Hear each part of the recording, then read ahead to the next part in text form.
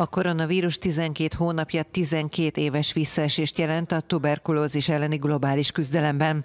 Áll a Stop TBC szervezet tanulmányában, amit a betegség világnapján tettek közzé.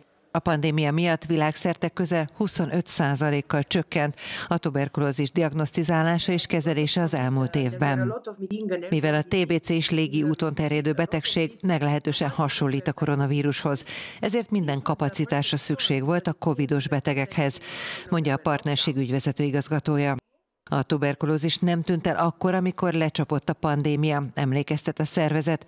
Ezért a világnak fel kell készülnie arra, hogy TBC a koronavírus után is lesz.